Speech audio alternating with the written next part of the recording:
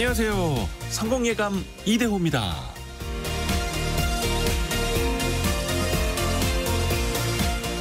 치킨, 피자, 짜장면이 생각날 때 10여 년 전에는 직접 전화를 걸어서 배달을 주문했는데요. 이제는 전화기로 전화를 걸질 않습니다. 스마트폰을 열고 배달 앱을 켜고 터치 몇 번만으로 맛있는 음식을 간편하게 배달시켜 먹을 수 있죠. 아, 그런데 돈이 드는군요.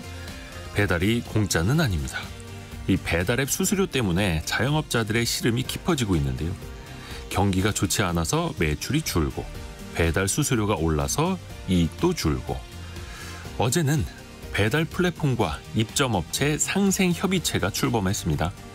배달 플랫폼과 소상공인 연합회 등 이해 당사자뿐만 아니라 학계 전문가, 기재부, 농림부, 중소벤처부, 공정위까지 다양한 사람들이 머리를 맞대기로 했습니다. 그런데 이 상생협의체 출범 2주 전에 배달 1위 업체가 배달 수수료를 인상한다고 밝히기도 했죠. 다시 전화기로 배달을 시키는 그런 시절이 되돌아오는 것만큼 쉽진 않겠지만 상생협의체가 제대로 상생하는 길을 찾길 바랍니다. 성공예감 이대호입니다. 출발합니다.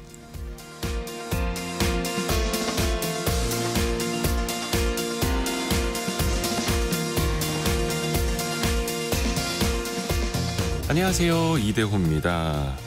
오늘은 7월 24일 수요일 오전 함께하고 계십니다.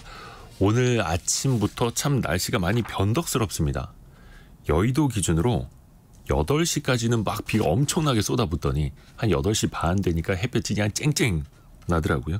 지역별로도 음, 지금 일단 울릉도와 독도 지역에는 강풍주의보가 내려져 있고요. 강원도 영월, 평창 평지, 정선 평지에는 호우주의보가 내려져 있는데 강원도 삼척 평지에는 폭염경보가 내려져 있다고 합니다. 예, 같은 나라 맞죠? 예, 강원도 내에서도 이렇게 다릅니다.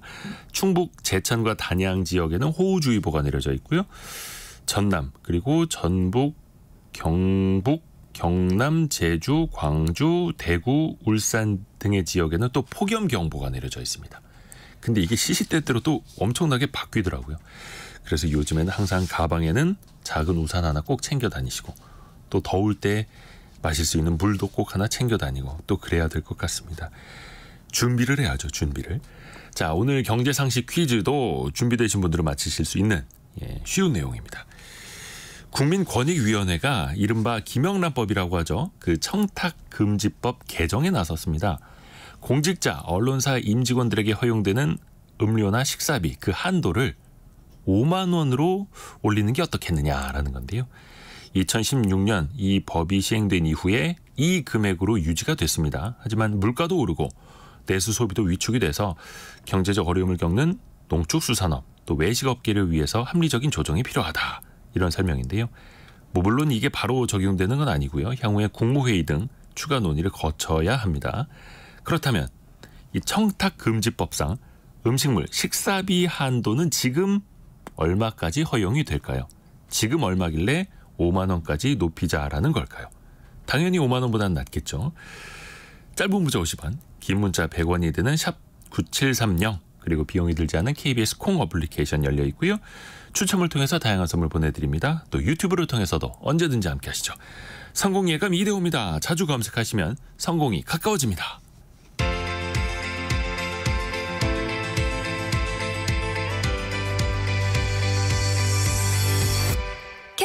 KBS 1라디오 성공 예감 이대호입니다. 아, 6356님이 빛의 속도로 제일 먼저 보내주셨는데 5만 원이라고. 아, 그 이전 거, 예, 이전 거 현재 현재 기준으로 맞춰주시면 됩니다. 오늘의 경제 뉴스 동아일보 백상경 기자, 한국경제신문 강영현 기자 함께합니다. 안녕하세요. 안녕하세요. 자, 백상경 기자는 어떤 소식 들고 왔나요? 네, 중국에서 이 자국 내에 과잉 생산된 제품들을 밀어내기를 하면서 국내 기업들이 굉장히 이제 영향을 받고 있고 그래서 특단의 대응에 나서야 한다라는 보고서가 나와서 내용을 살펴보겠고요. 또 정부가 실버타운을 설립할 때 그리고 오래된 빌라촌을 정비 사업을 할 때 각각 규제를 완화하기로 했는데요. 어떤 내용인지 함께 살펴보겠습니다. 네, 강영현 기자는요. 네, 위메프, 티몬 등에서 대금 정산 지원이 발생한 것으로 나타났습니다. 이에 따라서 유통업체들도 이런 플랫폼에서 잇따라 상품 판매를 중단했다고 하는데요. 이 소식 전해드리고요. 다음으로는 비대면으로 신용카드 불법 거래를 유도하는 이른바 카드깡이 기승을 부리고 있다는 소식까지 전해드리겠습니다. 자, 백상경 기자가 준비한 중국의 과잉 생산, 밀어내기 수출. 아마 뭐 알리나 테무 네. 이런 앱을 접하신 분들은 또 체감을 하실 것 같은데요. 그 내용 정리해 볼까요? 네, 알테쉬 때문에 굉장히 지금 뭐 예. 시끌 시끌하기 때문에 다들 많이 알고 계실 거예요. 근데 이 세계 공장이라고 불렸던 중국이 자국 안에서 지금 소화하지 못한 공산품 제품들 이런 제품들을 해외에 굉장히 저가로 팔면서 영향력을 크게 확대를 하고 있습니다. 네. 한국 한국무역협회가 중국 저가 수출이 우리 수출에 미- 미치는 영향 이 보고서를 발간을 했는데요. 중국의 올해 초 그러니까 1월부터 4월까지의 수출이 2021년 이후 가장 높은 증가세를 보였고 수출 단가는 반대로 이 작년 1년 전부터 계속해서 하락세를 타고 있다는 겁니다. 특히 이 같은 기간에 중, 중국의 철강 수출 같은 경우는요. 15%나 이 양이 그 매출이 증가를 했는데 네. 수출 단가 자체는 약 20% 하락을 했다고 해요. 음, 비료나 화학 제품도 수출은 7% 늘어났는데 수출 단가는 14% 하락을 하고 그밖에 뭐 운송 기기나 곡물, 채소류, 알루미늄, 섬유 제품 같은 이런 다양한 수출 물량들이 계속 증가하고 있는데 단가는 떨어지는 이런 상황들이 나타나고 있습니다. 그게 다 해외로 저가로 덤핑으로 막 쏟아져 나오고 있다라는 거잖아요. 네. 어떻게 보면 그들이 박리담의식으로 벌어가고 있다라고 볼 수 있을 텐데 네.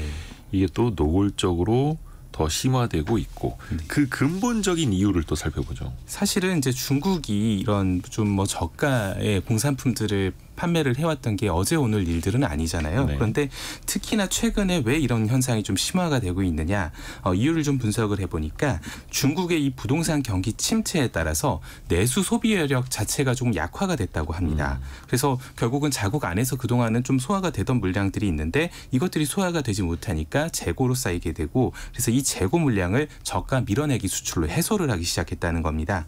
그러니까 5월 기준으로 중국의 산업 재고가 음, 총 6조 7천 억 위안, 그러니까 우리 돈으로 치면 3,200조 원 정도가 되거든요. 그래서 사, 이게 거의 사상 최고치를 기록하기도 했는데요. 어, 중국은 이 지난해 하반기부터 수출 물량을 크게 늘렸습니다. 그래서 일반적으로 수출 단가가 떨어지면은 수출 물량이 뭐 늘어나는 현상이 나타날 수는 있지만은 수출의 이 채산성, 그러니까 이익은 좀 떨어질 수밖에 없잖아요. 네. 저가로 판매를 하는 거니까 그럼에도 불구하고 중국이 이 수출 단가 하락에도 불구하고 위안화 약세 그리고 낮은 생산자 물가를 바탕으로 해서 수출 이후 이익 자체를 조금 양호하게 그래도 방어를 하면서 가져가고 있다고 합니다.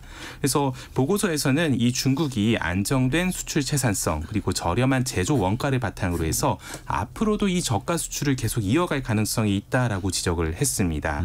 그러니까 중국이 지금 한국, 미국, 유로존 그리고 일본 등에 비해서 자국 내 생산자 물가가 굉장히 낮은 상태잖아요. 그래서 저렴한 이 제조 원가를 바탕으로 해서 앞으로도 저가 수출 공세를 계속 이어갈 것이다라는 전망입니다.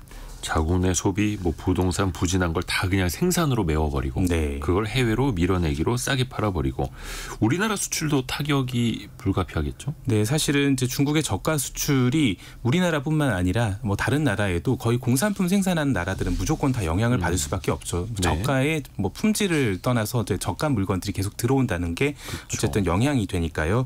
거기에 더해서 이 지금 중국의 저가 수출이 확대되면서 물량이 늘어났잖아요. 그래서 이게 우리나라 입장에서 또이 운송 분야에도 지금 문제를 미치고 있습니다. 그러니까 해상 운임이 지금 전반적으로 상승을 하고 중국 물량이 워낙 많이 터지다 보니까 이 선복, 그러니까 여객이나 화물을 실도록 이 구획된 항구의 장소들이 있거든요. 근데 이 장소를 확보하기가 힘들어지면서 우리 기업들의 물류 애로가 심화되고 있는 상황입니다.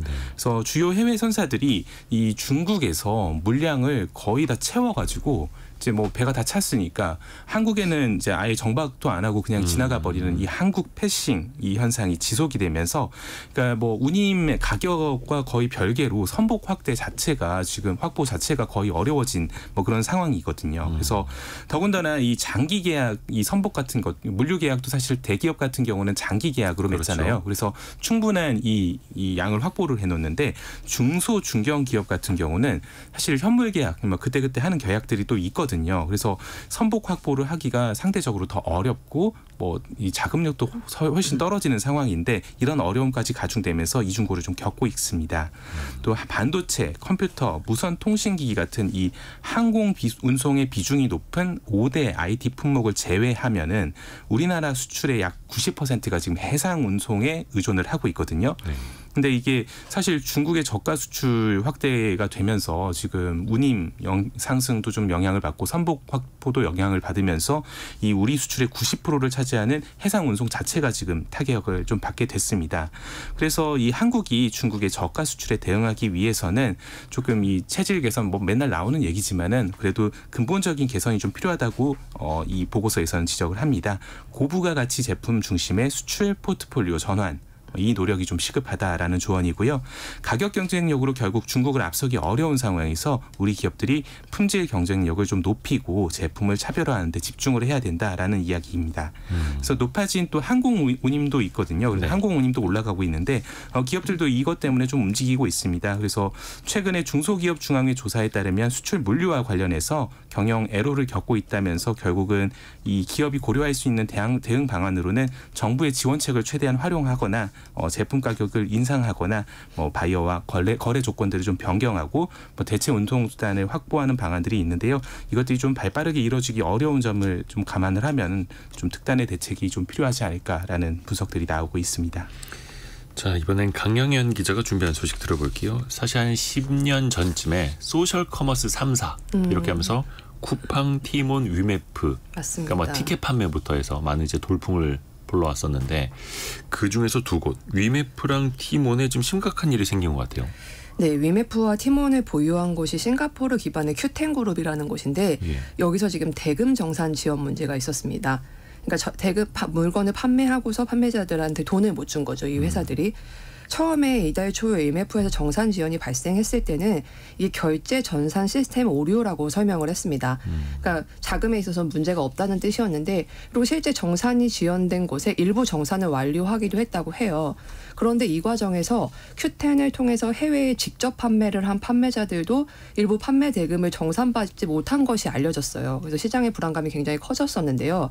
근데 여기에 팀원까지 어제 정산 지연 발- 사태가 발생을 하면서 지금 불안감이 극도로 다 극도에 달하고 있습니다. 그럼 어떻게 이렇게 된 겁니까? 어쩌다가? 이게 보면은 보- 이걸 보려면은 사실 이제 위메프 팀원을 보유한 큐텐이라는 그룹에 대해서 먼저 좀 알아야 하는데요. 큐텐이 한국의 지마켓 아시죠? 이 지마켓을 창업했던 구영배 대표가 설립한 회사입니다. 구 대표는 이제 지마켓을 2009년에 이베이에 미국의 이베이에 매각을 했는데 그때 10년 동안은 사- 한국에서 사업을 하지 않겠다라는 조건을 달았었습니다. 그래서 싱가포르로 건너가서 큐텐을 세웠습니다. 그리고 굉장히 잘 나갔어요. 그래서 인도네시아, 말레이시아 뭐 이런 동남아뿐 아니라 인도, 중국 등에도 진출을 해서 굉장히 성과가 좋았는데 10년 겸업 금지가 풀리고 나서는 이제 한국으로 다시 투자를 하기 시작한 겁니다. 네. 그래서 2022년 그리고 2023년에 각각 티몬, 위메프, 인터파크 쇼핑을 모두 다 사들였습니다. 여기에서 끝이 아닌 게 올해 2월에는 미국의 쇼핑 플랫폼인 위시를 또 인수했습니다. 근데 문제는 이렇게 몸집은 엄청나게 키워갔는데 내실을 다지지 못했다는 건데요. 위메프 그리고 인터파크 쇼핑 같은 경우에 모두 작년에 영업 손실을 냈고 심지어는 티몬, 위메프는 지금 모두 완전 자본 잠식 상태라고 합니다. 그러니까 무리하게 이렇게 몸집을 왜 키웠을까 생각을 해보면 이 큐텐이 나스닥 상장을 하려는 계획이었다고 해요. 그러니까 몸집을 키워서 만약에 성공을 했다면 아마 대규모 자금 조달이 가능했겠죠.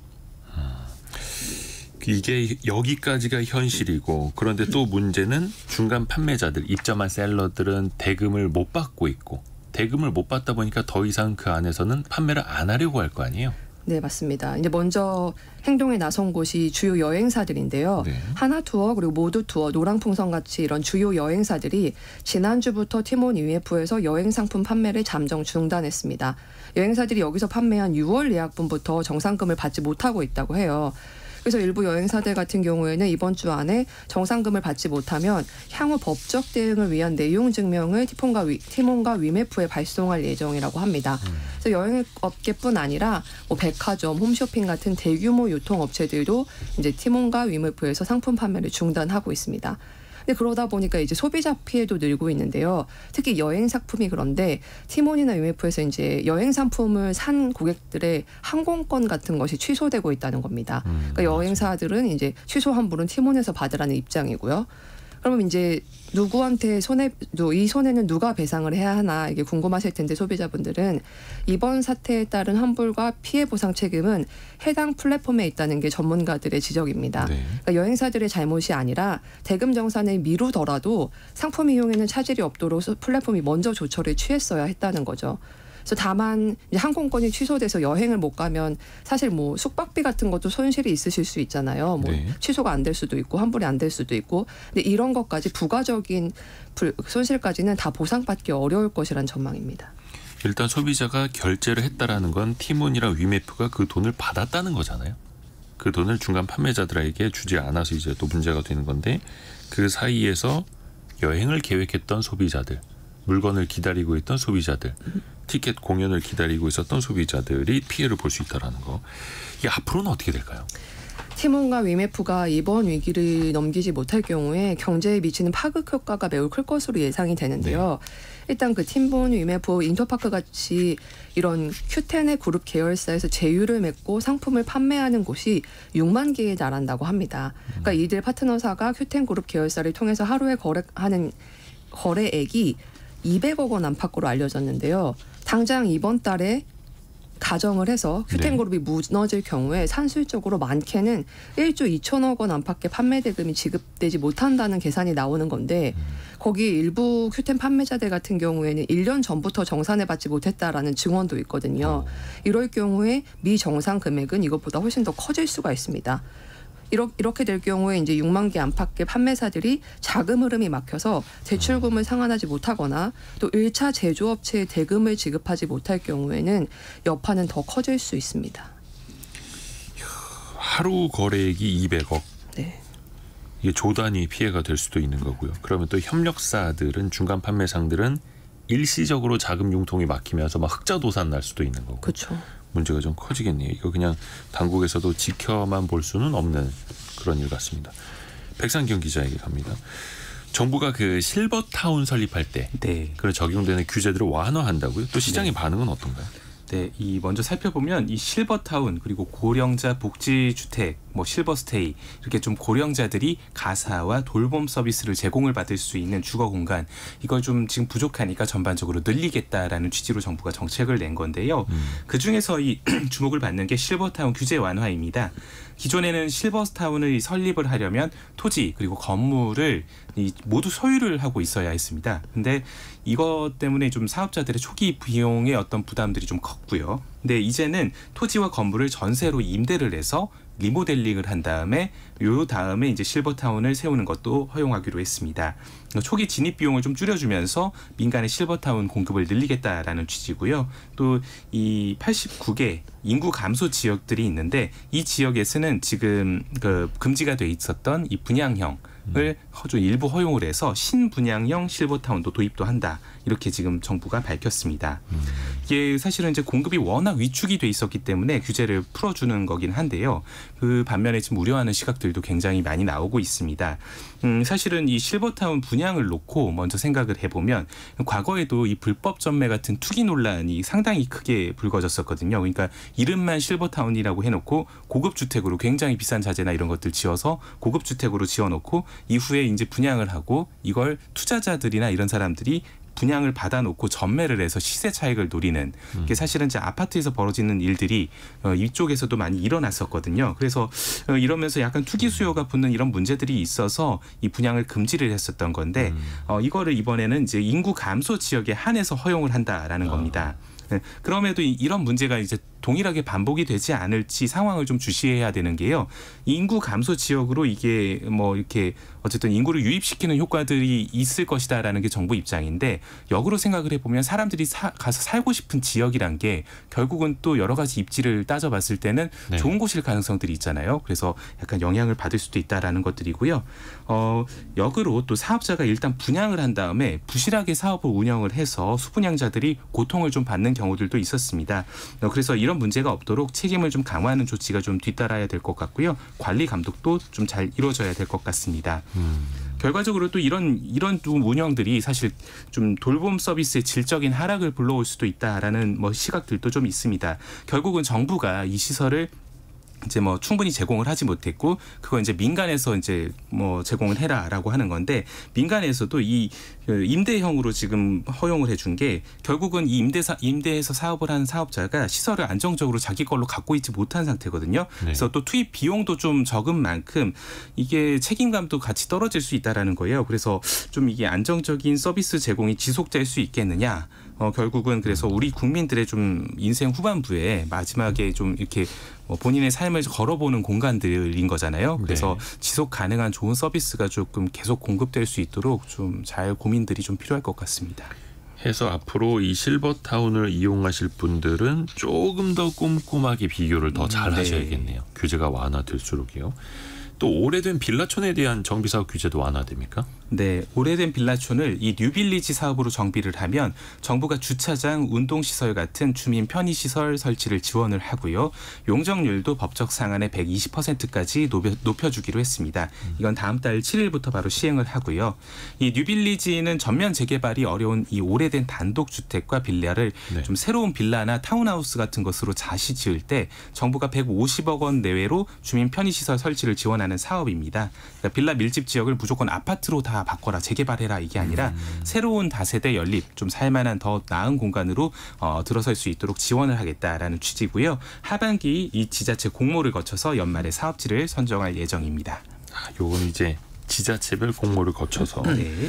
자 그리고 강영현 기자가 준비한 두 번째 소식 비대면 카드 강의 기승이라고요?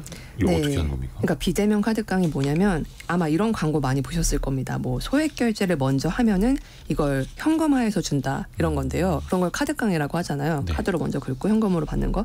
실제 피해 사례를 가지고 설명을 해볼게요.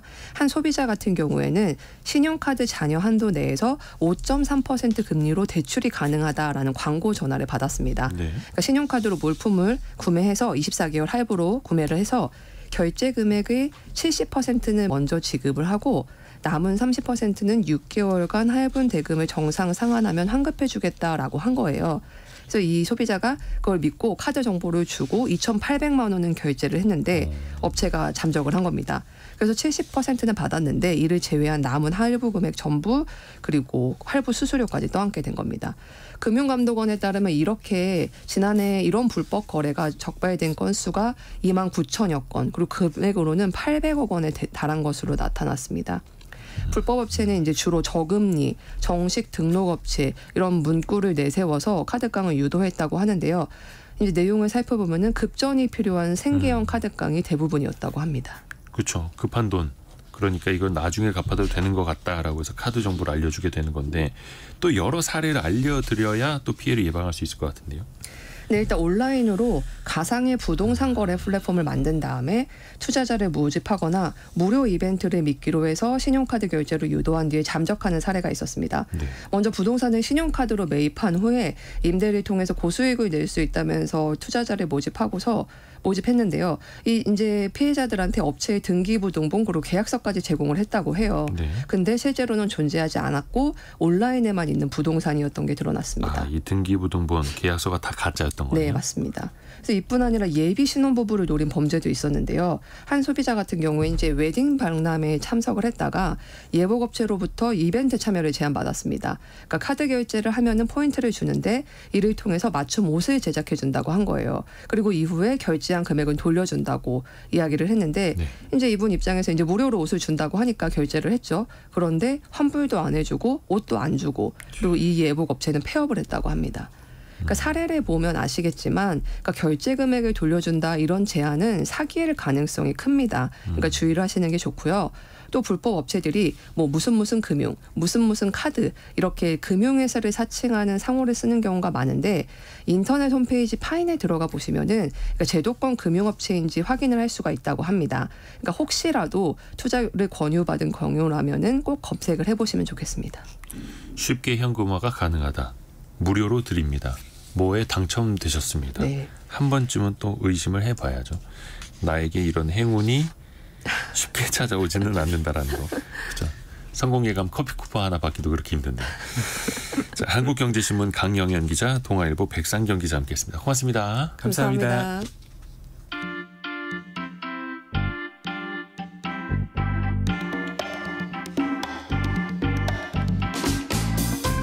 지금 여러분께서는 KBS 일라디오 성공예감 이대호입니다를 듣고 계십니다. 참여해주신 여러분께는 추첨을 통해 아름다운 식탁 창조 주비푸드에서 자연에서 갈아 만든 생와사비를 쉽고 빠른 판촉물 제작 시너지 기프트에서 진동 클렌저 마사지기를 그리고 성공예감에서 준비한 커피 쿠폰을 보내드립니다. 당첨자는 성공예감 이대호입니다 홈페이지에서 확인하세요. 경제 상식 퀴즈 또 한 번 나갑니다. 일명 김영란법이라고 불리던 청탁 금지법. 그 공직자나 공무원 또 언론인 등이 제공받을 수 있는 식사비 한도를 맞춰 주시면 됩니다. 이거를 지금 국민권익위원회에서 5만 원까지 올리는 걸 검토하고 있다고 하죠. 기존의 선물 같은 경우에는 농축수산물 관련해서 15만 원까지 상한선이 올라가 있었죠. 그런데 이제 식사비 같은 경우에는 물가도 올랐고 내수 경기도 활성화해야 되겠고 또 자영업자분들도 힘드니 이 금액을 이 금액에서 5만 원으로 올려보자라는 취지가 나오는 겁니다. 현재의 그 식사비 기준 맞춰주시면 됩니다. 0635님 차고지에 들어오자마자 보냅니다라고 시내버스 기사인데요. 누구도 저에게 만 원짜리 식사 한 번 안 사주네요. 아 이런 분들도 잘 좀 대접해드려야 될 텐데 항상 감사드립니다. 안전운전 해주세요. 그리고 1567님 같은 경우에는 아예 그 한도를 없앴으면 좋겠습니다라고 의견 주셨고요. 음, 신재성님 누구에게는 적은 돈일 수도 있고요. 누구에게는 큰 돈일 수도 있습니다라고 보내주셨고요.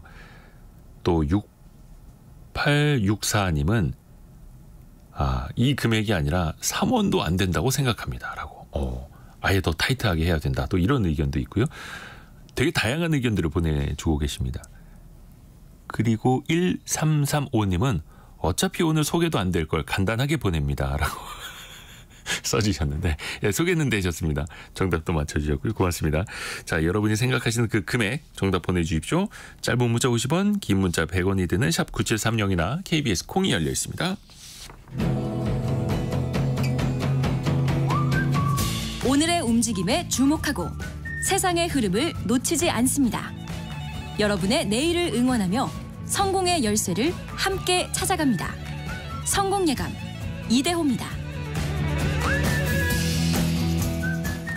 상식을 뒤집어서 생각해보는 역발상 경제 시간입니다. 여러분은 식당 가시기 전에 혹은 배달 시키기 전에 리뷰 별점 혹시 살펴보시나요? 그 리뷰에 사람들은 어떻게 반응하는지 또 재미나게 살펴보죠. 서울벤처대학원 대학 전호겸 교수와 함께합니다. 안녕하세요. 예, 반갑습니다. 역발상 경제 전호겸입니다. 교수님도 리뷰나 별점 많이 보세요? 종종 보죠. 뭐 물건 살 때나 어디 예. 식당 가거나 이럴 때는 항상 찾아본다고 봐야 되죠. 일반적으로 기본적으로 소비자들이 이 리뷰를 얼마나 믿고 있을까요? 그러니까 소비자들의 리뷰 신뢰도를 알 수 있는 자료가 있는데요. 네. 그러니까 2018년 마케팅 플랫폼 미블 회원 한 3천 명을 대상으로 한 구매 후기 이용 실태 설문조사에 따르면요, 네. 타인이 남긴 구매 후기 정보를 대체로 신뢰한다고 말씀하신 분이 약 63%였고요. 음, 그리고 또 허위 또는 조작된 정보가 있는 구매 후기를 본인은 판단할 수 있다고 응답한 분도 약 78%나 됐습니다. 오. 그러니까 즉 소비자들은 제품을 구매할 때 타인의 평가에 대해서 굉장히 영향을 받으면서도 10명 중에 약 8명은 스스로 구매 후기나 리뷰를 잘 검증할 수 있다고 믿는 거죠. 아하, 내가 걸러낼 수 있다. 그래요. 근데 또 워낙 그 허위 리뷰, 조작도 많고 뭐 최근에도 몇몇 플랫폼들 뭐 공정위 조사받고 있는 게 뭐 직원들 동원해서 했다라는 의혹도 있고요. 또 식당 가 보면 서비스 음식 드릴 테니까 뭐 별점 다섯 개 주세요. 이렇게 또 유도하는 것들도 있고 이게 진짜인지 아닌지 어떻게 구별할 수 있을까요? 그러니까 우선 이와 관련돼서 상당히 흥미로운 조사가 있는데요. 한국소비자원이 배달 플랫폼 3사를 대상으로 한 후기 운영 실태와 소비자 인식 조사 결과가 7월 23일, 그러니까 어제 오, 발표됐거든요. 네. 굉장히 따뜻한 자료인데요. 소비자원이 최근 1년 내에 1년 이내 배달 플랫폼을 이용한 소비자 1000명을 대상으로 설문조사를 했는데요. 약 73%가 음식점 또는 메뉴를 선택할 때 리뷰를 많이 참고한다고 했고요. 그리고 배달 플랫폼에서 음식을 주문한 약 77%는 리뷰를 작성해 본 적이 있고 이 중에 약 65%는 리뷰 이벤트 참여를 위해서 리뷰 작성을 했다고 합니다. 근데 그런데 더 중요한 거는 리뷰 이벤트 참여 후 리뷰를 작성한 소비자 중 약 80%는 리뷰 이벤트 참여가 음식점 별점 평 영향에 평가 영향을 줬는데 이중 약 98% 거의 100% 가깝죠. 실제 만족도보다 높게 평가했다고 한 거죠. 아, 실제 내 마음은 별점 3개였는데 그쵸. 사장님이 서비스를 준다고 하니까 별점 그렇죠. 5개 줬다. 맞습니다. 쉽게 말해서 리뷰 이벤트에 참여하면 리뷰를 좋게 쓸 확률이 거의 100%에 가까운 아무래도 거죠. 그렇게 되죠. 그렇죠. 네. 그러니까 이러다 보니까 사람들이 최하위점인 1점과 최상점인 5점 리뷰를 다 읽어보고 공통점인 내용만 믿는다거나 최신순을 정렬해서 이제 광고 없는 진짜 리뷰만 살펴본다거나 하는 식으로 이제 소비자들이 리뷰 활용이 진하고 있고요. 예를 들어 가지고 블로그나 뭐 이제 사진 같은 거 넣어가지고 내용을 넣는 경우 같은 경우에는 사진이 너무 고퀄리티거나 내용이 너무 자다면 아니 굳이 뭐 이렇게 먹고 이걸 써줬어 이런 생각을 하면서 약간 의심해 보는 사람도 있다고 하더라고요. 너무 디테일하면은 이거 직원 아니야? 그쵸. 뭐 받은 거 아니야? 이렇게. 또 의심할 수도 있고요. 또 가끔 리뷰 보면은 정말 그 열 받아서 썼구나. 이 사람 화났구나 이렇게 느껴지는 경우도 있고 맞습니다. 또 어떤 분들은 막 객관적으로 뭐 분석 뭐 두께 뭐 크기 막 이런 것까지 막 데이터까지 집어넣으면서 쓰시는 분들이 있거든요. 어떤 리뷰가 소비자들한테는 더 영향을 줄까요? 그러니까 사실 아까 말씀하신 것처럼 특정 제품이나 판매자에 대해서 어떤 이유인지 모르겠지만 매우 화가 나서 굉장히 다분히 네. 감정적인 단어를 막 써가면서 쓰는 리뷰들이 많잖아요. 느껴져요. 그렇죠. 이제 리뷰를 보면 사람들 다 알긴 아는데요. 이런 것 이런 리뷰 성난 리뷰라 부르는데 보통 이런 성난 리뷰나 아까 말씀하신 이성적인 리뷰 중에 무엇이 사람들에 더 영향을 주나에 관련된 연구가 있는데요.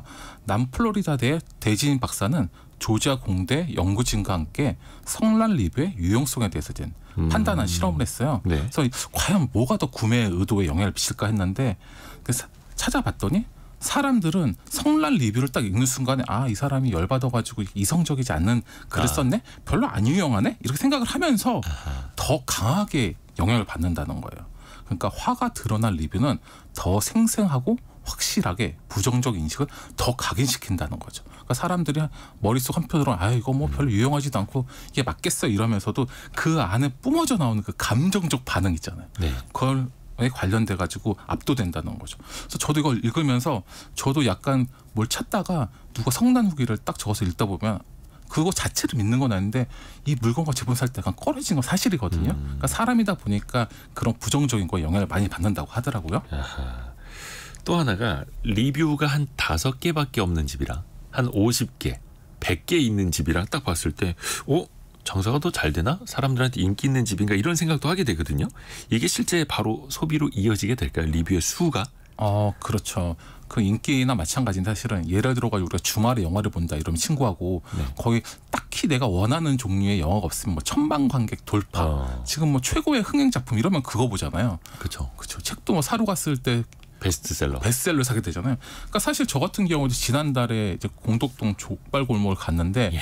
가보셨나요? 거기 한 바퀴 쭉 돌았는데 좀 네. 놀란 사실 알았어요. 네. 모든 가게 가격이 거의 똑같고 예. 나오는 서비스 메뉴가 다 똑같은 거예요. 뭐 순대국, 어. 순대, 떡볶이 이런 식으로. 그래서 결국에는 그걸 한 두 바퀴 정도 돌고 사람 많은 데를 들어갔거든요. 아, 그러니까 결국엔 사람들은 이제 지나가다 보면은 아 이게 잘 모르는 경우에는 사람이 많은 데 가죠. 이거를 이제 사회적 증거가 증거 원리가 작동하기 때문이라고 아. 그러는데요. 이제 결정을 내리는 상황에서 정확한 정보나 확신이 없을 때는 사람들은 다른 이들의 행동을 살펴본 뒤에 대다수의 사람들이 하는 행동대로 따라가는 거를 음. 사회적 증거의 법칙이라고 부른다고 하대요. 사회적 증거의 법칙. 야. 그렇죠. 그러니까 이게 사실 이제 어떤 것이 옳은지 잘 판단이 어려울 때 네. 남들 하는 거 보고 따르는 게 가장 편리하잖아요. 어. 그리고 만약에 내가 이 영화를 봤는데 아니면 만약에 이 음식을 먹었는데 많은 사람들이 간 집이었으면 그 네. 실수에 대해서 아유 뭐 내가 잘못한 게 아니라 다른 사람도 저랬는데 뭐, 뭐 이러면서 스스로 위안도 할 수 있고 덜 창피하니까 또 아, 그런 용도로 쓰일 때도? 있다고 하더라고요. 저는 그 반대인데 사람 그래요? 많은데 안 가고 그냥 빨리 먹을 수 있는데 아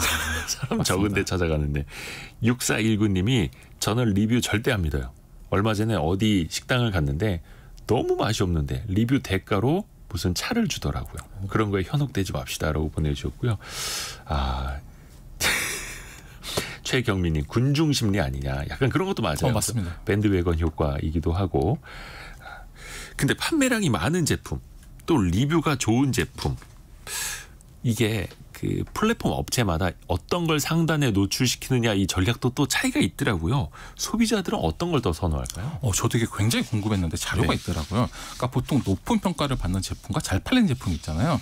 글로벌 리서치 회사 칸타에 따르면 글로벌 50대 이커머스 사이트의 63%가 이 두 가지 정보를 동시에 아주 잘 활용하고 있고요. 그러니까 가장 많이 팔리는 제품 그리고 후기나 리뷰가 좋은 제품을 다 광고를 하는 거죠. 근데 이제 물론 이 사이트마다 무엇에 더 집중하는지에선 각자 다르 긴 하죠. 근데 우리도 보통 이제 뭐 물건 사러 가면 제품 박스에 베스트셀러 1, 뭐 소비자가 뽑은 제품 1위 뭐 이런 거 많잖아요. 네. 그러니까 이런 거 일반적으로 많이 보는데요. 이거 관련돼 가지고 그럼 이게 과연 어떤 효능이 있을까? 미국 루지벨대와 일리노이대 공동 연구팀이 네. 조사를 해본 거예요. 이 두 가지 정보에 대해서 사람들은 어떻게 영향을 받을까? 그래서 우선 연구진은 높은 평가를 받은 제품과 가장 잘 팔리는 제품이 이 정보에 대한 선호가 선호도가 나라별로 나라별로 다 다를 거라 본 거죠. 그러니까 연구진은 중국, 인도 등 아시아 국가의 소비자들은 상대적으로 상호 의존적, 그러니까 자기 해석 성향이 있어서 즉 스스로의 정체성을 형성하는데 타인에게 무척 의존적인 경향이 높다고 본 거죠. 타인에게 의존하는 게 아시아 국가 소비자들이 좀 더 강하다. 네, 그래서 잘 팔리는 제품이란 정보를 상대적으로 덜 신뢰하는 가설을 세웠고요. 어. 아시아 국가에서는 꼭 해당 제품이 좋아서 잘 팔린다기보다 다른 사람이 많이 사서 그냥 얼떨결에 많이 샀을 거라고 본다고 본 거죠. 음. 그래서 사람들이 그런 거에 대해 별로 신뢰 안 할 거라고 가설을 한 거고요. 그러니까 반대로 미국이나 영국처럼 주도적인 자기 해석 성향을 가진 나라의 소비자들은 타인이 보이는 태도보다는 실제로 행동에 더 관심이 많기 때문에 많이 팔리는 것에 더 관심을 가질 거라는 과설을 가설을 세운 거죠. 이게 어떻게 보면 관계주의 속에 살고 있느냐, 개인주의가 심하냐, 그 차이일 수도 있겠네요. 어, 맞습니다. 실험 결과 이게 나라별로도 차이가 있다라는 거고요. 그렇죠. 그래서 연구진 우선 이제 인도를 상호 의존적인 성향, 미국을 주도적인 성향으로 가지고 연구를 했는데요. 네. 인도와 미국 소비자들 서로 달랐는데요. 그러니까 연구에 참가한 인도 소비자들은 가장 높은 평가를 받은 제품에 관련된 정보에 상대적으로 더 민감하게 반응했대요. 그래서 이런 제품에 대해서는 평균적으로 약 30% 정도 더 높은 가격을 지불하겠다고 한 거죠. 그러니까 많이 팔린 것보다 평가가 좋은 제품에 대해서는 더 많은 돈을 내고 자기가. 사겠다는 거죠. 반대로 미국 소비자들 같은 경우에는 다른 소비자들의 태도보다 별점보다는 이 물건이 실제로 얼마나 더 팔렸는지에 대해서 더 중요하게 여겼다고 하더라고요. 그 또한 연구진은 이 조사 이외에도 글로벌 이커머스 회사의 데이터를 분석해서 미국의 경우 팔리는 제품이 일반적으로 높은 평가도 받는데 동시에 같은 거죠. 근데 네. 인도 같은 경우에는 꼭 그렇지 않다는 사실도 발견한 거죠. 그리고 더 나아가서 여덟 개국에서 판매되는 8,700개 제품에 대한 브랜드 자산 가치 데이터 세트를 분석했는데요. 멕시코나 우리나라처럼 상호 의존독 자기 해석 문화를 가진 나라의 경우 잘 팔리는 제품보다 높은 평가를 받은 제품이 브랜드 가치도 훨씬 더 좋다고 하더라고요. 그게 나라마다 사람들의 인식이 조금씩 차이가 있는 거네요. 그렇죠. 많이 팔린 거냐, 좋은 리뷰를 받고 있는 거냐. 이걸 또 자영업자분들도 잘 써보면 좋을 텐데 그냥 뭐 사이다 하나 더 드릴게요. 별점 높이 주세요. 이런 거 말고 별점의 효과를 높일 수 있는 방법도 좀 알려주세요. 그러니까 이 연구 결과를 보면 각 나라별로 광고 메시지가 다르잖아요. 예. 그래서 우리나라 인도처럼 상호 의존적 자기 해석 성향이 높은 나라에서 할 경우에는 가장 평가를 높은 제품에 대해서 좋아하기 때문에 우리나라 같은 경우에는 판매를 많이 했다기보다는 그 각각 제품에 대해서 개별 리뷰라든지 제품에 대한 판단이 을 많이 모으는 것이 중요한 거죠. 왜냐하면 우리나라 이제 소비자들은 많이 팔린 것도 중요하지만 다른 사람들이 이 제품을 써보고 어떻게 생각하는지에 대해서 굉장히 관심이 많거든요. 네. 그러니까 그런 리뷰나 아니면 그런 근거 같은 경우를 많이 모으는 게 굉장히 필요한 것으로 보입니다. 그래서 그 리뷰를 캡처해서 어디에다 전시해 놓는 분들도 있고요. 어, 그렇죠. 하여튼 이게 참 블로그 마케팅에 이런 거 봐도 뭐 내돈내산입니다. 뭐 이렇게 어, 그쵸. 써붙이는 분들도 있는데 일단 리뷰라는 걸 본인이 주체적으로 한번 걸러서 봐야 될 필요가 있네요. 어, 그렇죠. 약간 이제 고전적인 연구긴 한데 1968년에 발표된 자료에 의하면 네. 경마장 이용객 대상으로 한 실험이 있었는데요. 자, 막권을 구입하기 위해서 줄 서 있는 사람들 같은 경우와 막권을 산 사람들을 비교했더니 막권을 산 사람들이 자기가 베팅한 말의 우승 확률에서 훨씬 높게 봤다는 거예요. 그러니까 쉽게 그쵸. 말하면 사람들이 이미 자기가 사거나 행동을 해버리면 음. 그 행동에 대해서 그 이전보다 훨씬 더 긍정적으로 평가하고 좋게 본다는 거죠. 네. 그러니까 사실 물건을 사거나 어떤 그 결단을 했을 때는 그 바로 최근에 한 사람 같은 경우에는 이미 좋게 긍정적으로 볼 확률이 있기 때문에 이거 같은 경우에는 한 번 더 거르고 의심해 볼 필요가 있는 거죠. 아하. 본인의 취향이나 객관적인 판단이 아니라 내가 이미 이렇게 선택했기 그렇죠. 때문에 내 마음이 더 쏠리는 걸 수도 있다. 그렇죠. 라고 또 객관적으로 볼 필요가 있다. 그렇습니다. 야, 많이 배웁니다. 서울벤처대학원 대학 전호겸 교수와 함께했습니다. 고맙습니다. 예, 방, 감사합니다. 또 반갑습니다 하시네요. 그렇죠. 다음 주에 또 반갑습니다 하겠습니다. 라디오 정보센터 다녀옵니다. 밤사이 부산과 경기 북부, 강원도 등에 많은 비가 내린 가운데 전국 7개 시군구에 산사태 경보와 주의보가 발령됐습니다. 산사태 경보는 오늘 오전 8시 기준으로 부산 영도와 남구, 강원 횡성 세 곳에 내려져 있습니다. 북한이 3일 만에 또 오물풍선을 남측에 살포했습니다. 합동참모본부는 북한이 살포한 대남 쓰레기 풍선이 경기 북부 지역으로 이동 중이라고 밝혔습니다. 경제 전반에 대한 소비자들의 인식을 나타내는 소비자 심리 지수가 두 달 연속 상승했습니다. 한국은행은 미국의 기준금리 인하 기대감과 주택가격 상승세 등의 영향으로 소비자 심리 지수가 올랐다고 분석했습니다. 국내 6개 내비게이션 업체가 홍수, 도로 침수 정보를 제공하는 업데이트를 마쳤습니다. 운전자들은 홍수 경보와 댐 방류 등 홍수 위험 정보를 실시간으로 받아볼 수 있어 위험 지역에서 벗어나거나 운전에 주의를 기울일 수 있습니다. 지금까지 라디오 정보센터 뉴스 정한나였습니다. 특히 Z세대들이 나만의 개성 더 중요하게 생각한다고 하는데요. 또 따지고 보면은 우리 젊었을 때도 또 개성 많이 챙겼던 것 같습니다. 그 중에 하나 또 중요한 게 패션이죠. 옷 입는 것. 과연 또 이분들이 회사를 다니게 될 때 또 일상에서는 어떤 식으로 자신을 드러낼까요? 트렌드 팔로우 시간에 한번 배워보실까요? 대학내일 20대 연구소 정은우 센터장과 함께합니다. 안녕하세요. 안녕하세요. 정은우 센터장님도 패션 센스가 뛰어나시잖아요. 아, 네, 뭐 고맙습니다. 항상 옷 잘 입으시던데. 아, 네, 감사합니다. 근데 Z세대가 취업을 할때 그 네. 회사에서 자율 복장을 하느냐, 복장을 어떻게 갖춰야 하느냐 이것도 되게 고려하는 요소라고요. 아, 네, 뭐 사실 복장에 대한 규제를 좀 느슨하게 하는 거는 몇 년 전부터 기업들이 예. 이제 도입하고 있는 문화였는데요. 요즘엔 아예 자율 복장까지 도입하는 기업들이 많이 늘어나고 있습니다. 최근에 포스코 같은 경우가 반바지까지 허용한다라고 발표를 했었는데 중요한 건 이제 이런 변화가 단순하게 이제 구성원들이 입고 싶은 옷을 입게 한다 이런 것들을 넘어서서 우리 조직이 이렇게 조직 문화를 쇄신하고 있다라는 이미지를 주기 위해 서 이런 제도를 도입하고 있는데요. 일례로 자율복장을 도입하는 기업들은 이 자율복장 하나만 도입하는 게 아니라 유연 출구 유연 출근이나 뭐 파티션 없애기, 보고서 없애기 같은 이제 조직 문화 개선 활동을 굉장히 다양하게 하면서 그 안에서 이제 자율복장 제도를 도입하는 이런 형편입니다. 당연히 이제 이런 이미지가 Z세대들한테도 굉장히 큰 도움이 좀 되고 있는데요. 보수적인 기업 이미지를 탈피하는 데 있어서 지난해 한 취업 플랫폼에서 취준생들 대상으로 조사를 했는데 절반 이상이 이런 시도를 하는 기업들이 이미지가 좋다라고 57% 정도가 답을 했었고요. 실제 저희 대학 내 20대 연구소에서도 수용할 수 있는 조직 문화에 대한 조사를 실시했는데 네. 사회 초년생에 아무래도 가까운 후기 밀레니얼들이 유일하게 X세대나 86세대보다 자율복장을 추구하는 복지로 꼽기도 했습니다. 어. 네. 몇년 전에 서울시도 여름에 반바지 허용한다는 뉴스 맞습니다. 나왔던 걸로 네, 기억을 네. 하고 포스코도 반바지까지 허용을 한다. 그러면 Z세대가 생각하는 자율복장의 기준은 어디까지일까요? 이게 자율복장이라 그래서 Z세대들이 아무렇게나 입고 싶다라고 오해하지 않으셨으면 좋겠는데요. 요 같은 이제 그 조사에서 Z세대 1783명을 대상으로 조사를 했을 때 자율복장의 기준에 대해서도 같이 조사를 했는데 네.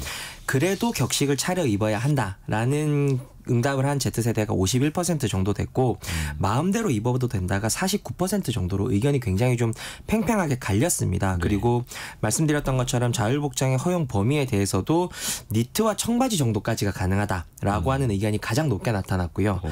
이어서 이제 셔츠라든지 슬랙스 같은 이른바 뭐 비즈니스 캐주얼이나 스마트 캐주얼 같은 것들이 2위로 나타났고 모자나 트레이닝복까지 괜찮다라고 하는 응답은 10% 정도로 다소 낮게 나타났습니다.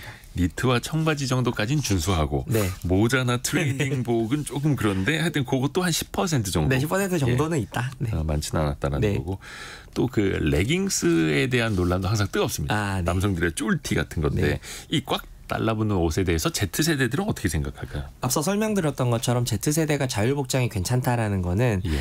업무 성과만 나면 되지 복장은 크게 관계없지 않느냐라고 하는 건데 이게 그렇다고 해서 모든 복장에 관대한 건 아닌 것으로 좀 나타났습니다. 음.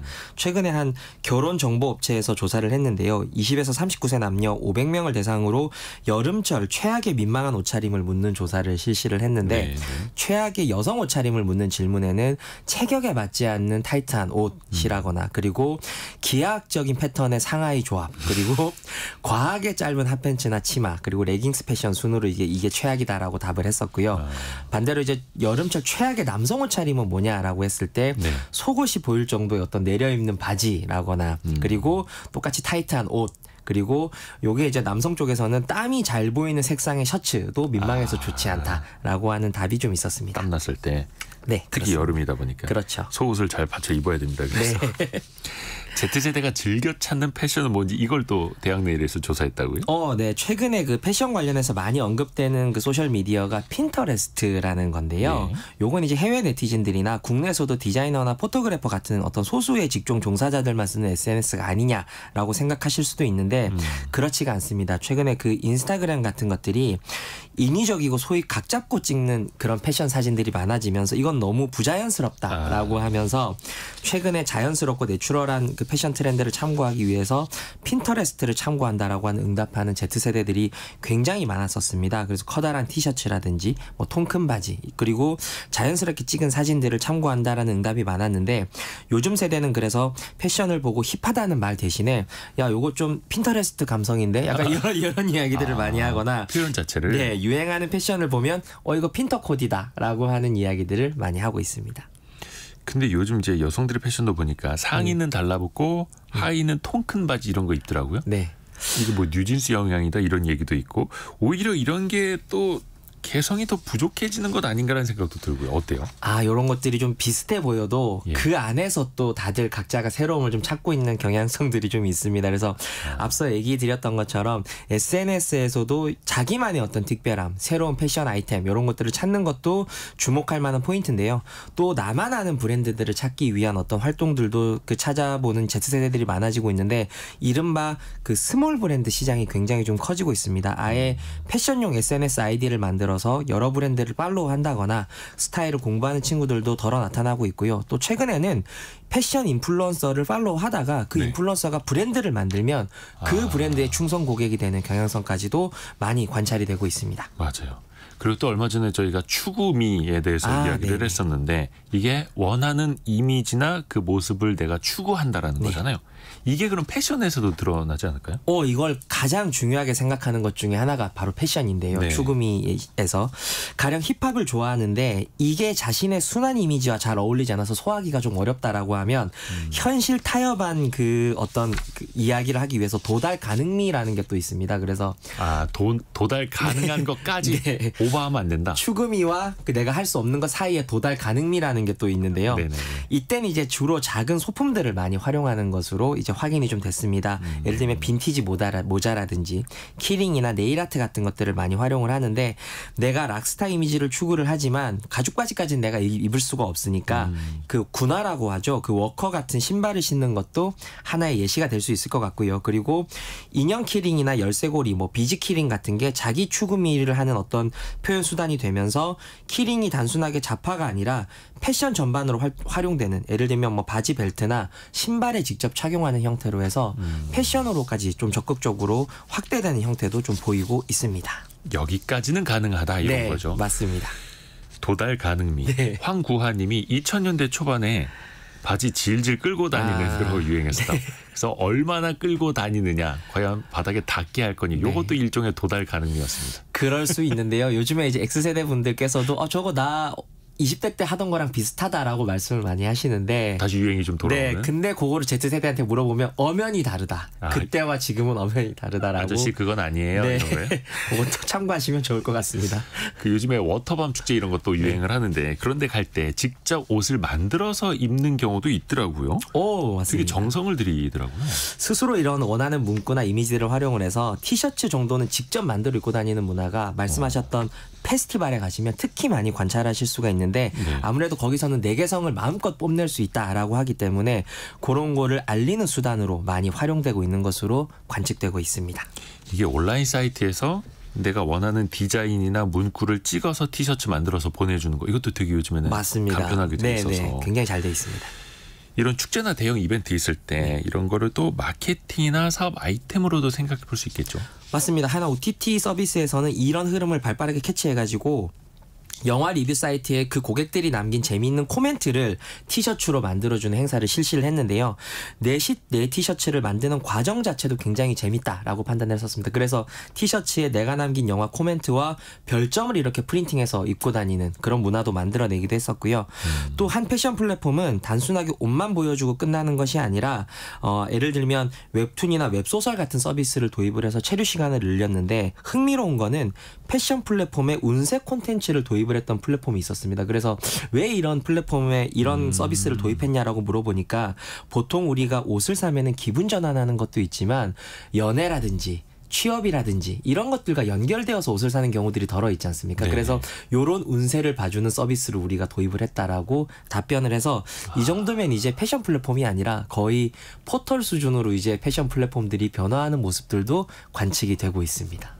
오늘 뭐 입지 이런데 오늘의 운세를 보고 거기랑 네. 그렇죠. 기분을 좀 맞춰서 그게 입고 데이트나 소개팅과도 연결돼 있고 면접 같은 거라는 것도 연결이 되어 있기 때문에 어. 운세 서비스를 자연스럽게 곁들인 거죠. 개성 있는 시대입니다. 근데 네. 그 개성도 조금 더 디테일해지고 있고 4307님이 몇 주 전에 지인 예식장에 갔는데 젊은 하객이 체크 반바지에 아. 칼라 셔츠 입고 오는 거 보고 깜놀했습니다.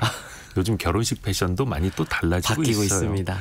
어, 최경미님이 매일 가요를 듣다가 네. 시사나 뉴스를 들으니까 우쭐해지네요. 나 유식해지고 있는 중입니다. Z 세대에 대해서 또 배울 게 많습니다. 대학 내 20대 연구소 정은우 센터장 함께했습니다. 고맙습니다. 고맙습니다. 또 2부에서는요 노화를 늦출 수 있는 방법 또 그거를 식단으로 조절하는 방법 여러분이 좋아하시는 정희원 교수와 오랜만에 함께합니다. 저속 노화 식단법 2부에 이어집니다. 잠시 뉴스 들으시고요. 10시 5분에 다시 뵙겠습니다.